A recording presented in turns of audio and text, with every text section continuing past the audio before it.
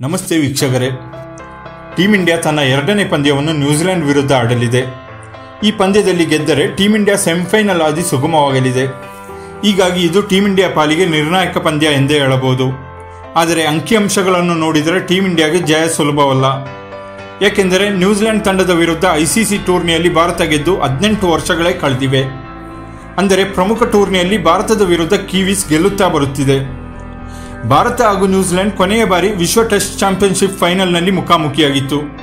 ಈ ಪಂದ್ಯದಲ್ಲಿ ನ್ಯೂಜಿಲೆಂಡ್ ತಂಡವು ಭಾರತವನ್ನು ಎಂಟು ವಿಕೆಟ್ಗಳಿಂದ ಸೋಲಿಸಿ ಚೊಚ್ಚಲ ಬಾರಿ ಟೆಸ್ಟ್ ಚಾಂಪಿಯನ್ಶಿಪ್ ಕಿರೀಟವನ್ನು ತನ್ನದಾಗಿಸಿಕೊಂಡಿತ್ತು. ಇದಕ್ಕೂ ಮುನ್ನ ಎರಡ್ ಸಾವಿರದ ಹತ್ತೊಂಬತ್ತರ ಏಕದಿನ ವಿಶ್ವಕಪ್ ಸೆಮಿಫೈನಲ್ನಲ್ಲಿ ಟೀಂ ಇಂಡಿಯಾ ಹಾಗೂ ನ್ಯೂಜಿಲೆಂಡ್ ಮುಖಾಮುಖಿಯಾಗಿತ್ತು. ಈ ವೇಳೆ ಭಾರತವನ್ನು ಹದಿನೆಂಟು ರನ್ಗಳಿಂದ ಸೋಲಿಸಿ ನ್ಯೂಜಿಲೆಂಡ್ ಫೈನಲ್ ಪ್ರವೇಶಿಸಿತ್ತು. ಹಾಗೆ ಎರಡ್ ಸಾವಿರದ ಹದಿನಾರರ ಟಿ ಟ್ವೆಂಟಿ ವಿಶ್ವಕಪ್ನಲ್ಲೂ ಭಾರತದ ವಿರುದ್ಧ ನ್ಯೂಜಿಲೆಂಡ್ ಗೆಲುವು ದಾಖಲಿಸಿತ್ತು.